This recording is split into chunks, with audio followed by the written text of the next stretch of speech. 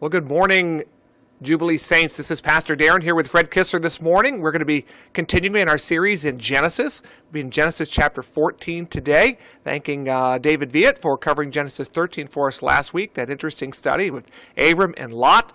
Um, today we have a really interesting study here um, in Genesis, the action packed uh, chapter of Genesis chapter 14. And we're going to sing together again verse before we get into our lesson. But before we do all of that, um, let's open up with a word of prayer. Would you bow your heads with me? Lord God Almighty, we thank you for today. We thank you for the privilege of, at least for now, being in a free country, uh, the ability to open your word freely, to study your word together. Lord, even here, even though we're not able to meet in person, that we're able to meet um, in our homes and open God's word together using this wonderful tool um, online. And so, Lord, I do pray for Fred as he opens your word today.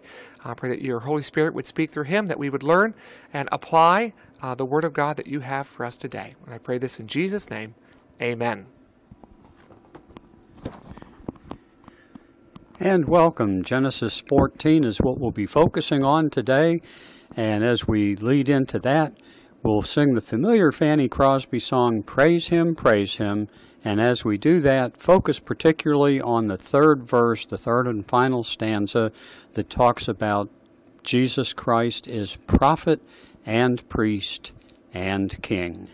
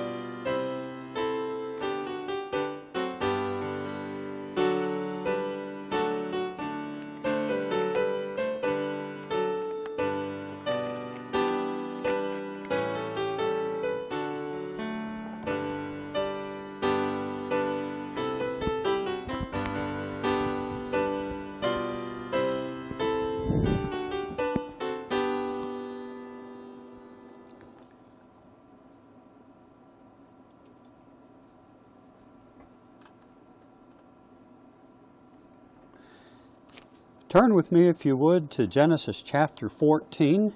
We'll be reading the text first. Uh, we'll divide this into two major sections and read the first 16 verses as the first portion.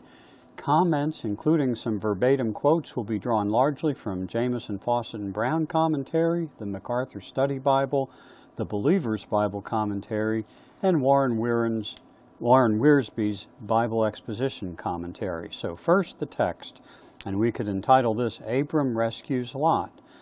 And it came about in the days of Amraphel, king of Shinar, Arioch, king of Ellasar, Chedorlaomer, king of Elam, and Tidal, king of Goyim, that they made war with Bera, king of Sodom, and with Birsha, king of Gomorrah, Shinab, king of Admah, and Shemeber, king of Zeboim, and the king of Beth, Be Bela, that is Zoar. All these came as allies to the valley of Siddim, that is the Salt Sea. Twelve years they had served Chedorlaomer, but the thirteenth year they rebelled.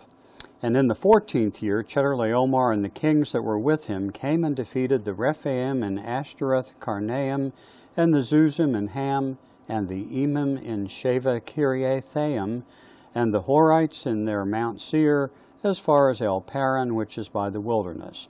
Then they turned back and came to En Mishpat, that is Kadesh, and conquered all the country of the Amalekites and also the Amorites who lived in Hazazon Tamar. And the king of Sodom, and the king of Gomorrah, and the king of Admah, and the king of Zeboim, and the king of Bela, that is Zoar, came out, and they arrayed for battle against them in the valley of Siddim. Against Chedorlaomer, king of Elam, and Tidal, king of Goyim, and Amraphel, king of Shinar, and Arioch, king of Ellasar. Four kings against five. Now the valley of Siddim was full of tar pits, and the kings of Sodom and Gomorrah fled, and they fell into them. But those who survived fled to the hill country. Then they took all the goods of Sodom and Gomorrah and all their food supply and departed. And they also took Lot, Abraham, Abram's nephew, and his possessions and departed, for he was living in Sodom. Then a fugitive came and told Abram the Hebrew. Now he was living by the oaks of Mamre, the Amorite, brother of Eshcol and brother of Aner, and these were allies with Abram. And when Abram heard that his relative had been taken captive, he led out his trained men born in his house, three hundred and eighteen, and went in pursuit as far as Dan. And he divided his forces against them by night, he and his servants, and defeated them and pursued them as far as Hobah, which is north of Damascus. And he brought back all the goods, and also brought back his relative Lot with his possessions and also the women and the people. So, here's an overview starting in verse 1, which says, And it came about, or it came to pass. This chapter presents Abram in the unexpected character of a warrior. Here was the situation. The king of Sodom and the kings of the adjoining cities, after having been tributaries for twelve years to the king of Elam, joined forces with each other to, th to throw off his yoke. Chedorlaomer was what we would call a suzerain, or feudal overlord, who extracted tribute from these other kings. So, when they rebelled against him with the aid of three allies, he invaded the territories of these rulers, defeated them in a pitched battle where the nature of the ground favored his army, Genesis 14:10, and hastened in triumph on his homeward march with a large amount of captives and booty raiding, conquering, and making other kings and city states subservient vassals were all part of the world of the Fertile Crescent in Abram's day. The vassal states miscalculated Chedorlaomer's strength and they lost the battle. As you may recall, Lot had chosen what looked to him to be the good territory to settle in and was by then a resident of Sodom, and he was taken captive. Backing up to chapter 13 that we focused on last week, we read starting in verse 5 Now Lot, who went with Abram, also had flocks and herds and tents. And the land could not sustain them while dwelling together, for their possessions were so great that they were not able to remain together. And there was strife between the herdsmen of Abram's livestock and the herdsmen of, life, of Lot's livestock. Now the Canaanite and the Perizzite were dwelling then in the land. Then Abram said to Lot, Please let there be no strife between you and me, nor between my herdsmen and your herdsmen, for we are brothers. Is not the whole land before you? Please separate from me. If to the left, then I will go to the right, or if to the right, then I will go to the left. And you recall what happened. Lot lifted up his eyes and saw all the valley of the Jordan, that it was well watered everywhere. This was before the Lord destroyed Sodom and Gomorrah like the garden of the Lord, like the land of Egypt as you go to Zoar. So Lot chose for himself all the valley of the Jordan, and Lot journeyed eastward. Thus they separated from each other.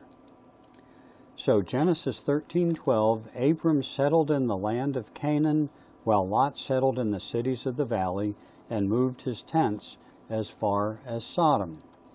Now the men of Sodom were wicked exceedingly and sinners against the Lord. So, Abram graciously gave up the choice pasture land, but God wound up giving him and his descendants the whole land of Canaan and forever. So, we think of Lot. Lot was a true believer, but was a worldly Christian. And he was a, backslider. Uh, I should say he was a worldly believer. And as always, as is always ultimately the case, he reaped what he had sown.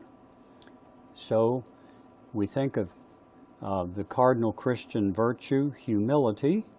Philippians 2, 3, and 4 do nothing from selfishness or empty conceit, but with humility of mind let each of you regard one another as more important than himself. Do not merely look out for your own personal interests, but also for the interests of others. So note the steps. Uh, although Lot was a true, truly was a true believer, and we find this if we look at 2 Peter chapter 2, verses 7 and 8. And if he, God, rescued righteous Lot, oppressed by the sensual conduct of unprincipled men, for by what he saw and heard that righteous man, while living among them, felt his righteous soul tormented day after day with their lawless deeds. So we see three times here Lot is called righteous. So he was a believer, but he was a worldly backslider, and he reaped what he had sown. Note the steps in his uh, in, in, the backsliding that he uh, accomplished, and his worldliness and his carnality. First, Lot and his men experienced strife, as we saw Genesis 13 7. Then he saw, verse 10. He chose, verse 11. He pitched his tent toward, verse 12. He resided away from the place where God's priest was, chapter 14, verse 12. And then he sat in the gate, which was the, the place of political power, and we see that when we get to chapter 19, verse 1.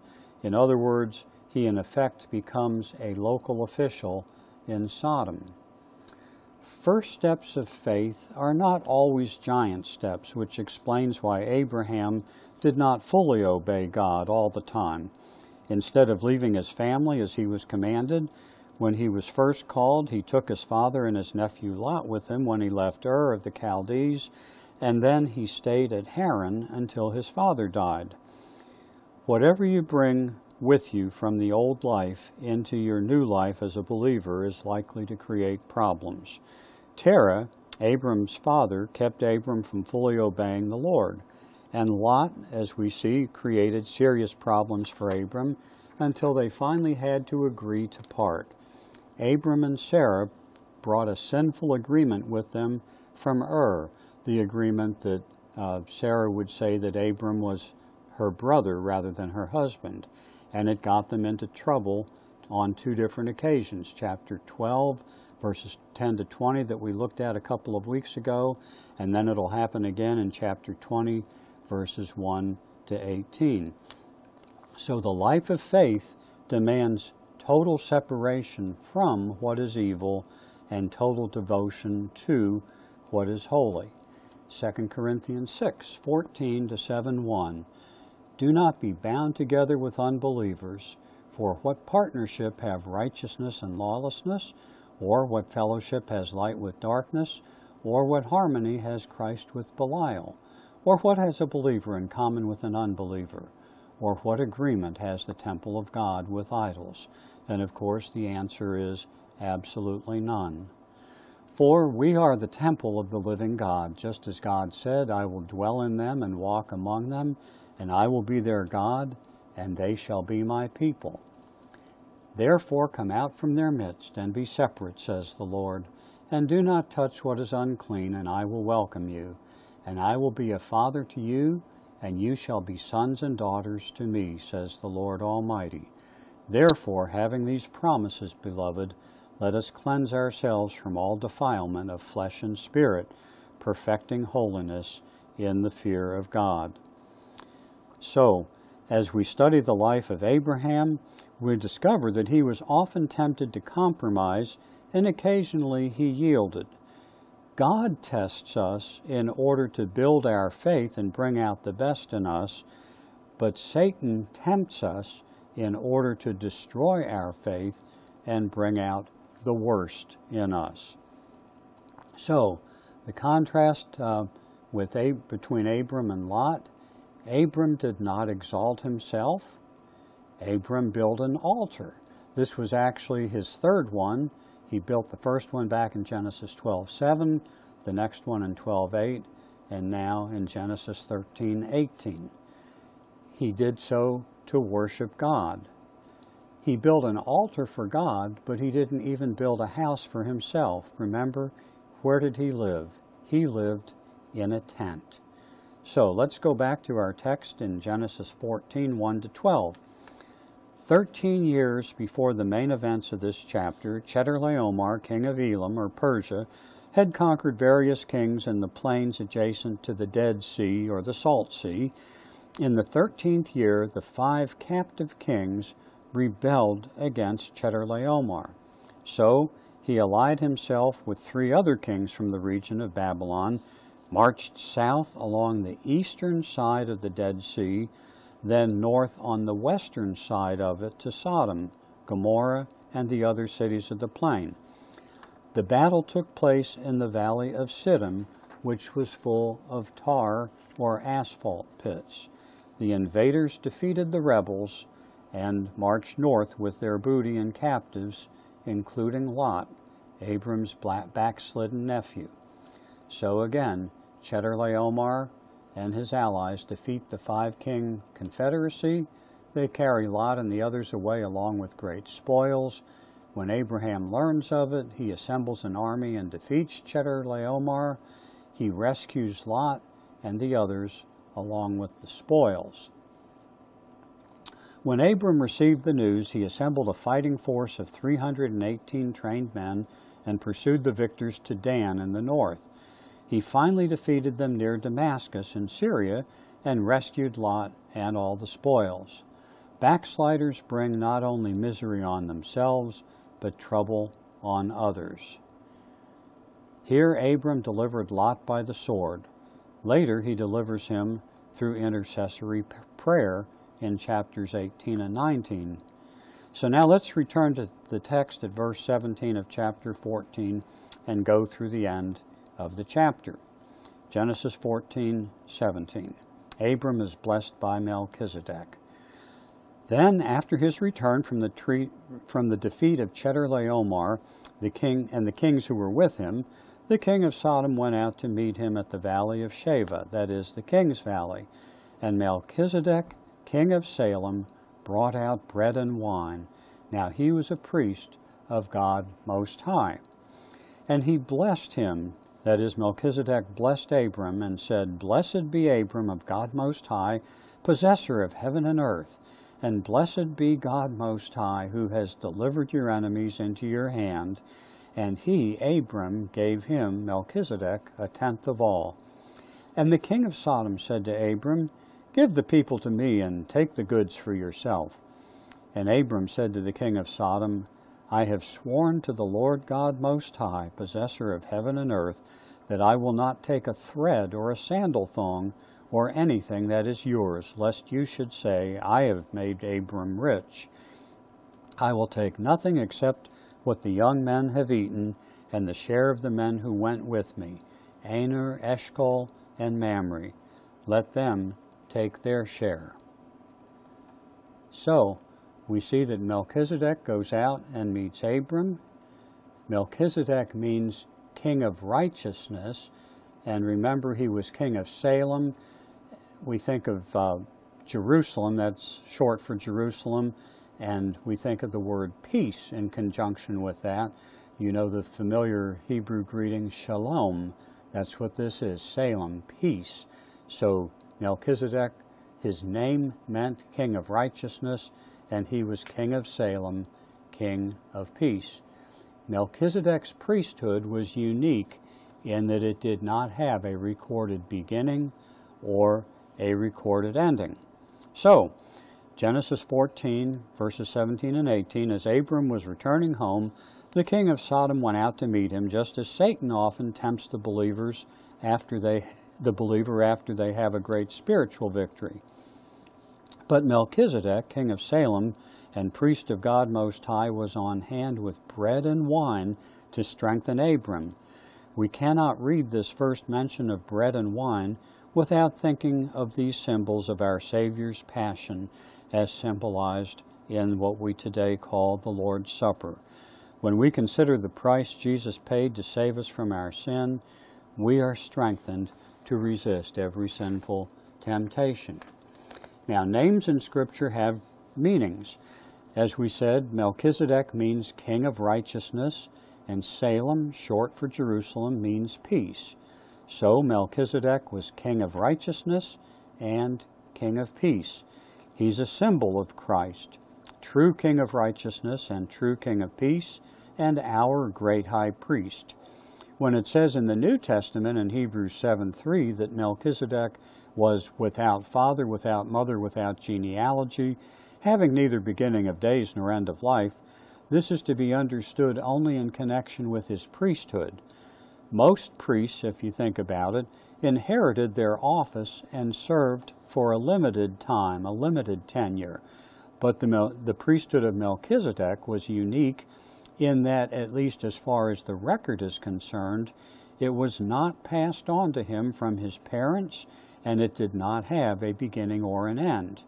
Christ's priesthood is according to the order of Melchizedek. And we see this in Hebrews 7:25.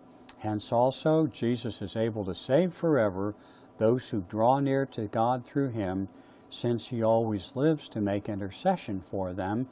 And we see it predictively in Psalm 110:4, the Lord has sworn and will not change his mind.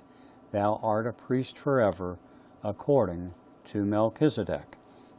So, in chapter 14, verses 19 and 20 of Genesis, Melchizedek blessed Abram, and Abram in turn gave to this priest of God a tithe of all his captured prizes. In Hebrews 7, we learn that there was a deep spiritual significance to these actions. Because Abram was the forefather of Aaron, he is seen as representing the Aaronic priesthood. The fact that Melchizedek blessed Abram means that Melchizedek's priesthood is greater than Aaron's priesthood, because the one who blesses is superior to the one who is blessed. The fact that Abram paid tithes to Melchizedek is seen as a picture of the Aaronic priesthood, acknowledging the superiority of Melchizedek's priesthood because the lesser pays tithes to the greater. So Abram's paying tithes to Melchizedek, as I just mentioned, is seen as a picture of Aaron's priesthood under Moses, acknowledging the superiority of Melchizedek's priesthood and ultimately of Christ's priesthood.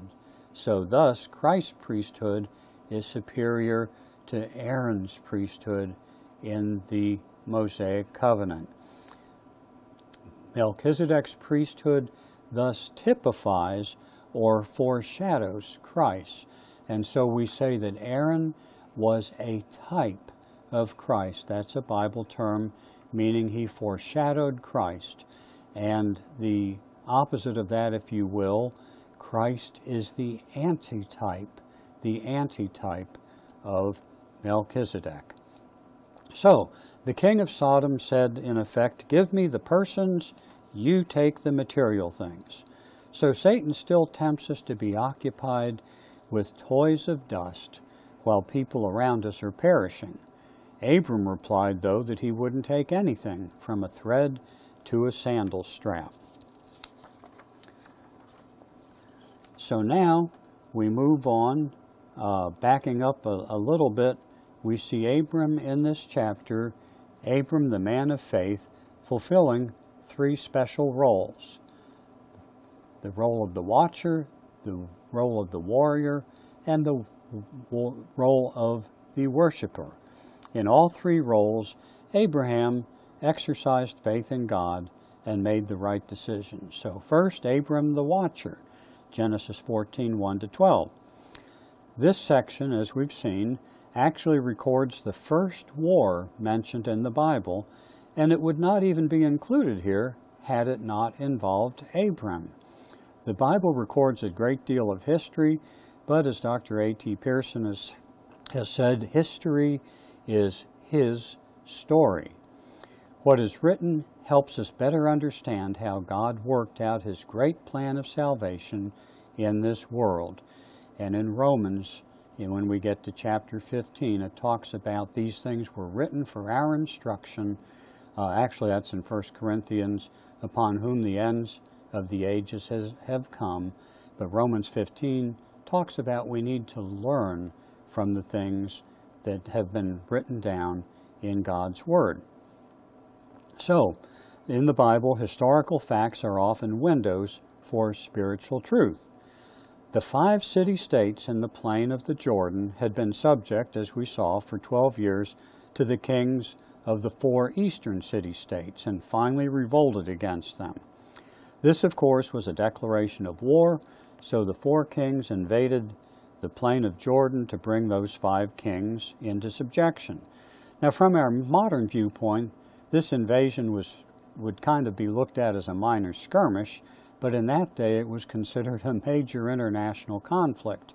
Certainly, the five kings defending their territory who were rebelling ought to be able to defeat four kings, especially since they were fighting on their own turf. But the army of the cities of the plain was soundly defeated by the invading kings. Apparently, the five kings did not even know their own land because they were trapped in those tar or slime pits, verse 10. All their army could do was to flee from the hills.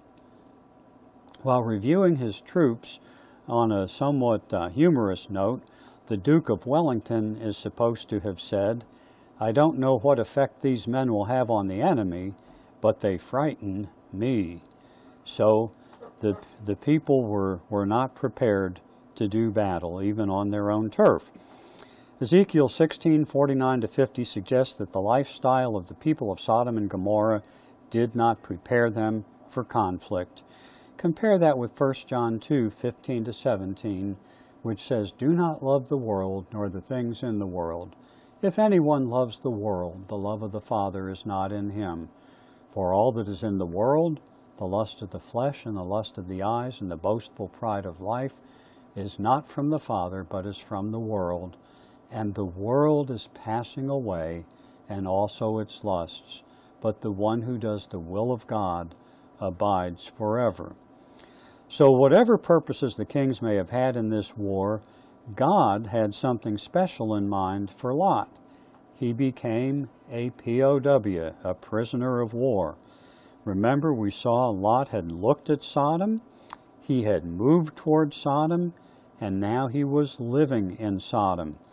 You might not guess it from his conduct, but as we've seen, Lot was indeed a righteous man, according to 2 Peter 2 6 to 8. So, where did he fail? Well, while in Egypt with Abraham, as we've seen, Lot had gotten a taste of the world and he enjoyed it. Scripture doesn't record that Lot ever built an altar and sought the Lord, as did his uncle Abraham. Abraham was the friend of God, James 2:23, but Lot was the friend of the world, James 4:4. In time, Lot conformed to the world, Romans 12:2, and when Sodom lost the war, Lot was condemned along with the world, 1 Corinthians 11:32. If you identify with the world, then expect to suffer what the world suffers.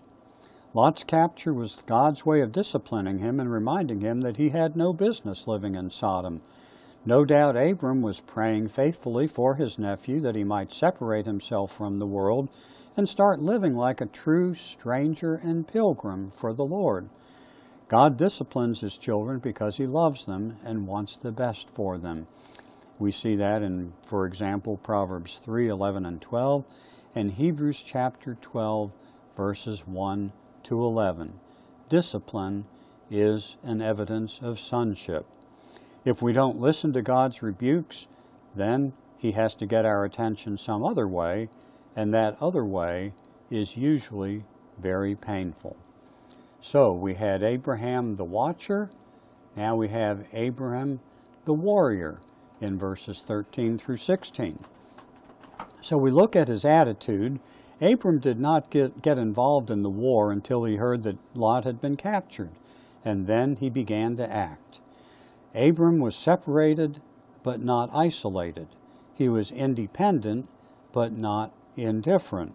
In fact, he and some of the local sheikhs had formed an alliance for just such emergencies, as we see in verse 13. He was Abram the Hebrew, which means the outsider, the person with no secure place in society.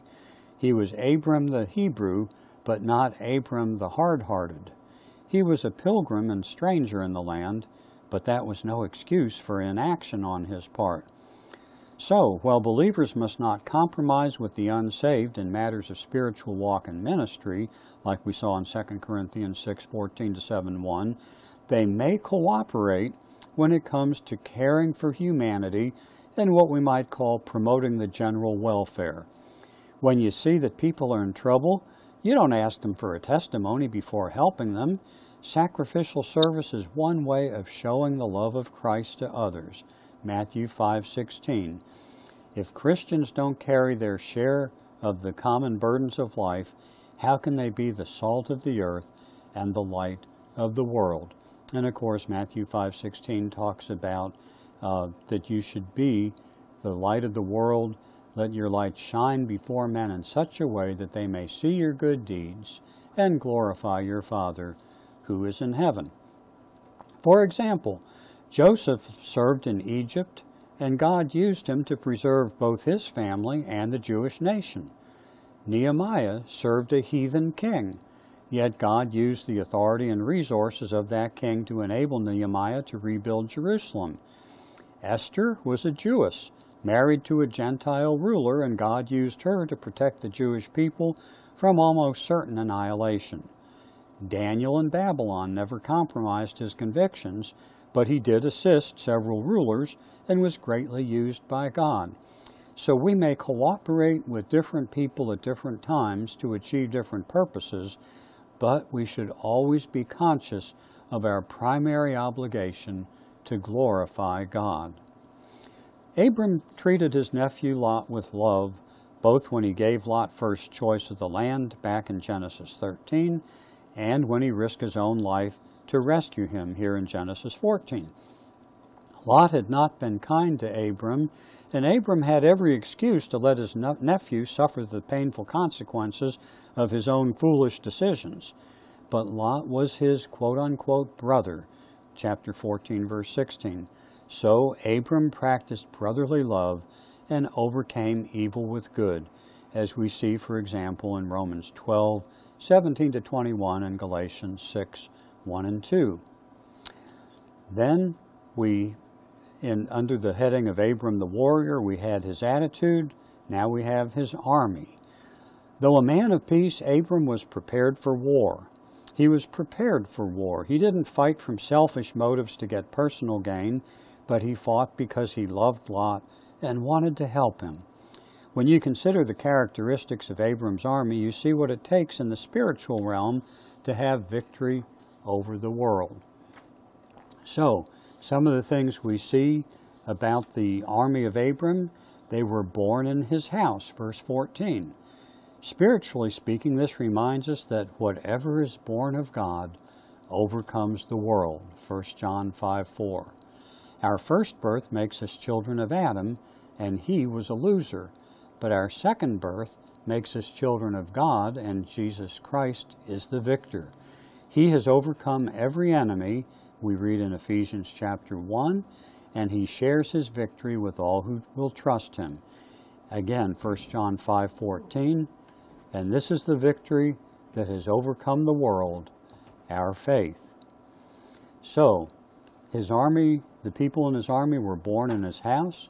They were armed. It takes more than zeal and courage to win a war. You must also have effective equipment. The Christian soldier must wear the whole armor of God and use the spiritual weapons God has provided. Ephesians 6 10 through 18. Our weapons are spiritual, not fleshly, 2 Corinthians 10 3 to 5, and we use them in the power of the Holy Spirit. The Word of God and prayer are our two most effective weapons, Acts 6 4, and we must use them by faith. As the well known song expresses it, put on the gospel armor, each piece put on with prayer. Then, regarding Abram's army, the men were trained, verse 14. So, no matter how good their equipment is, if the soldiers are not trained, they will be easily defeated. One of the purposes of the local church is to train God's people how to use the Bible effectively, how to pray, how to recognize the enemy, and how to follow orders as soldiers in the army of Christ. The better you know your Bible, the better you're equipped to fight the battle. 2 Timothy 3 16 and 17. Jesus, the captain of our salvation, wants to train us and make us perfect or complete. Hebrews 13, verses 20 to 21. And the Greek word means to equip an army. If we fail in the battle, it's not the fault of the equipment or the strategy of our captain. Something went wrong with the soldiers. This is the concept of discipleship. As one uh, book's title says, disciples are made, not born. What are you doing to become a disciple of Jesus? And what are you doing to help others, help train others to become disciples? Again, remember that discipleship involves discipline and is intentional and sequential. Be a disciple of Jesus Christ. Then the fourth thing regarding Abram's uh, warriors, they believed in their leader.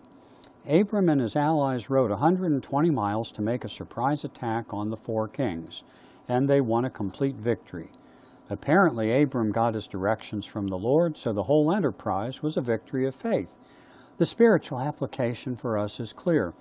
If God's people expect to defeat their enemies, they must trust the Lord and obey his orders.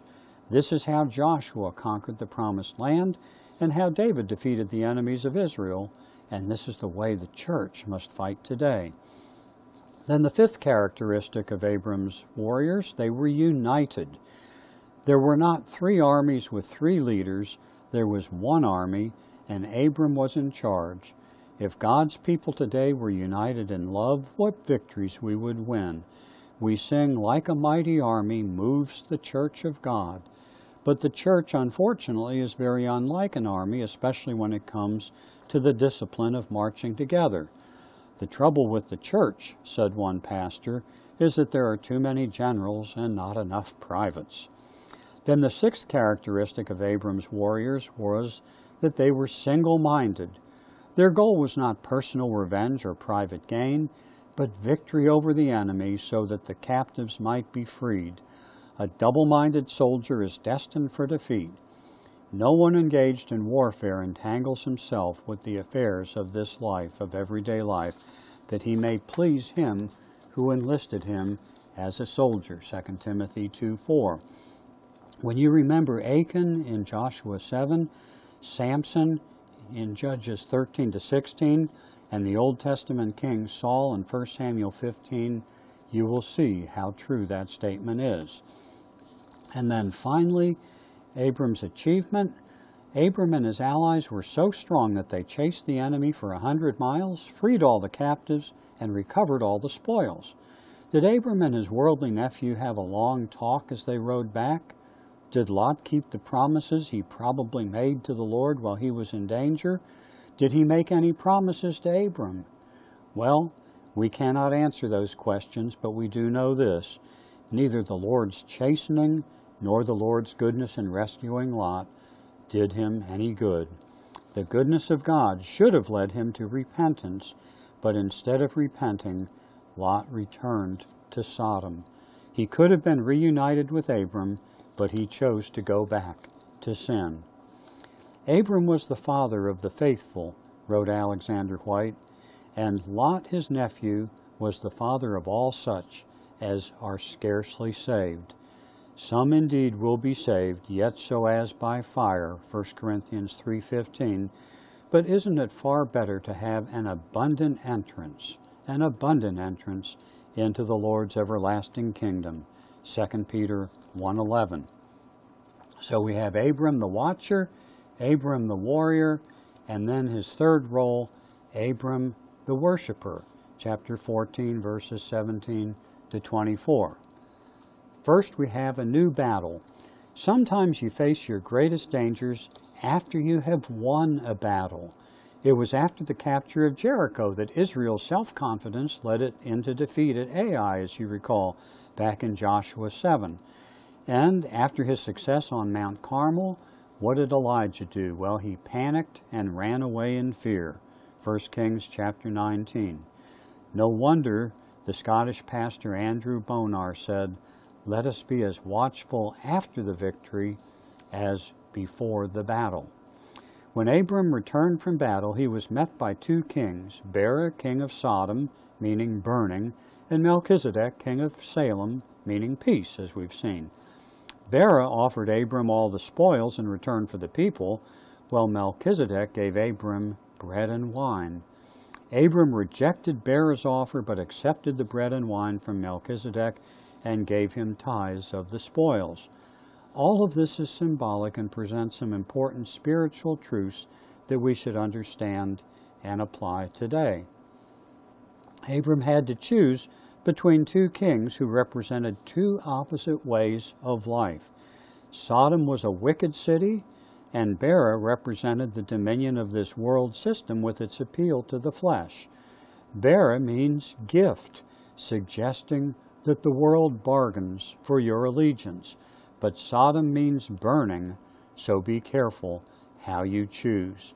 Remember, Satan, in tempting Jesus, said, I'll give all these things to you if you bow down and worship me. If you bow down to Bera, everything you live for will burn up one day. And that's exactly what will happen to Lot.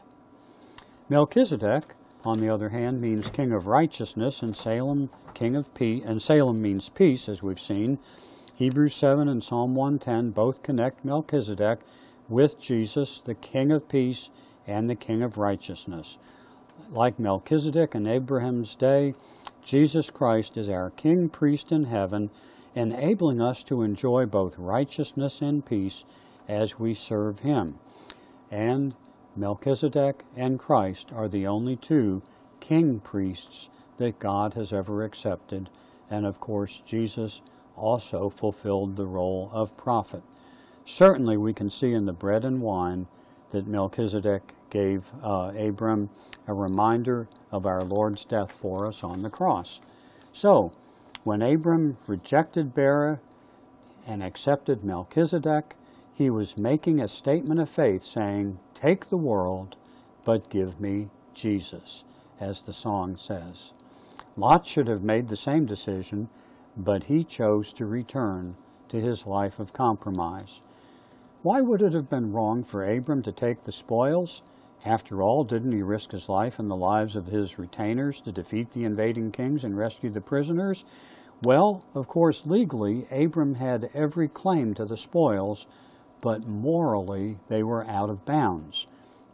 Many things in this world are legal as far as courts are concerned, but morally wrong as far as God's people are concerned.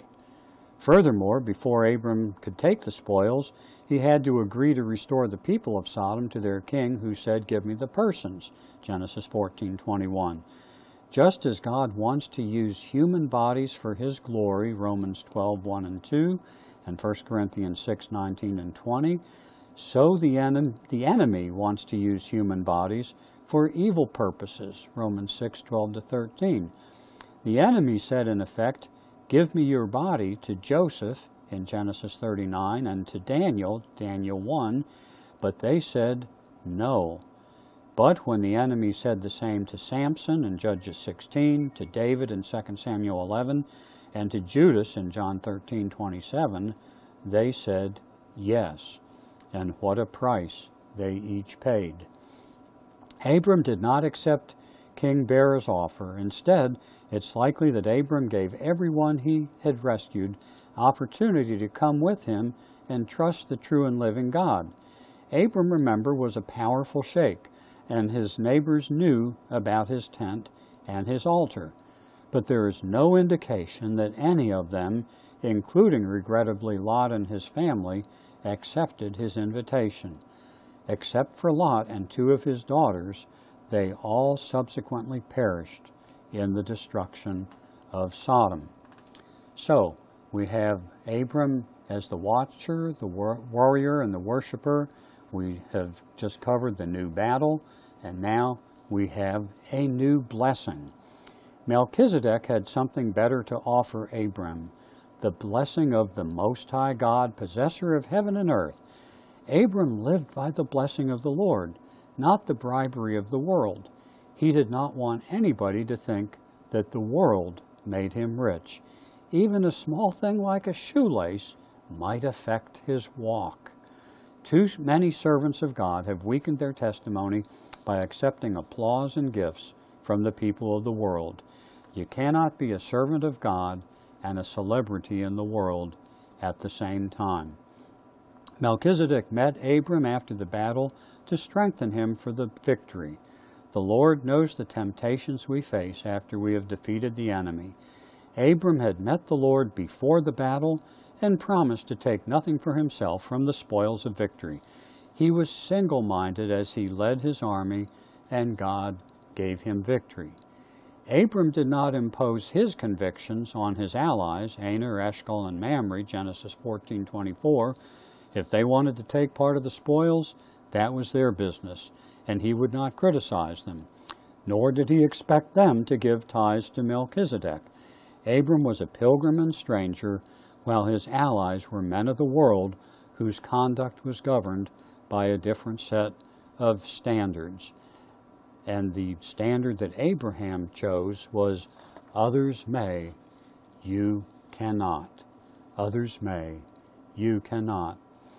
We must be careful to give out of the devotion of our hearts and not as a bribe, quote unquote, for God's blessings. As the late R.G. LeTourneau, well known Christian manufacturer and philanthropist, used to say, if you tithe because it pays, it won't pay. But Abram provides us with a good example of giving. He brought his gifts to Jesus Christ in the person of Melchizedek, we do not give our tithes and offerings to the church, the pastor, or the members of the finance committee. If our giving is a true act of worship, we will give to the Lord, and for that reason, we want to give our very best. Malachi 1 6 to 8. 2 Corinthians 8 to 5 shows us the key. They first gave themselves to the Lord, and this was Paul referring to the churches of Macedonia. First, we must give ourselves to the Lord. Abram was prompt in his giving, and his stewardship principles were firmly fixed in his heart, so there was no reason to delay. He was also proportionate in his giving, a policy encouraged by the Apostle Paul in 1 Corinthians 16 1 to 2. And then Abram gave because he loved God and wanted to acknowledge God's greatness and God's goodness. What a contrast between the Most High God and the heathen idols. Abraham's God is possessor or creator of heaven and earth. He deserves all the worship and praise of all his people. Before the battle, Abram lifted his hand by faith in a solemn vow to God that he would take nothing from the spoils. He had a single heart and mind as he led the army, Matthew 6:24. During the battle, Abram wielded his sword by faith and trusted God for victory. After the battle, by faith, Abram closed his hands to the king of Sodom, but opened his hands to the king of Salem, receiving bread and wine and giving tithes. And this is the victory that has overcome the world, our faith. 1 John 5 4. So, in righteousness, God reveals his reveals chiefly his love of holiness, in justice, chiefly his hatred of sin. Neither justice nor righteousness is a matter of arbitrary will. They are revelations of the nature of God, wrote Augustus Hopkins Strong. So, takeaways first of all, give yourself wholly to the Lord. Romans 12:1. I urge you, therefore, brethren, by the mercies of God, to present your bodies a living and holy sacrifice, acceptable to God, which is your spiritual service of worship. Then, get your convictions from God, the very next verse in Romans, and do not be conformed to this world, but be transformed by the renewing of your mind, that you may prove what the will of God is, that which is good and acceptable and perfect. Third, don't compromise your convictions. We already covered 1 John 2 15 to 17, which talks about do not love the world nor the things in the world. If anyone loves the world, the love of the Father is not in him. For all that is in the world, the lust of the flesh and the lust of the eyes, and the boastful pride of life is not from the Father, but is from the world. And the world is passing away, and also its lusts, but the one who does the will of God abides forever. And finally, consider the godly example of Abram in Genesis chapter 13 and 14. Let's close in prayer. Father, thank you for the godly example of Abram. Lord, may we, like he, be considered people of faith, obeying you, seeking you, and being continually transformed into the image of Christ. For it's in Jesus' name that we pray. Amen.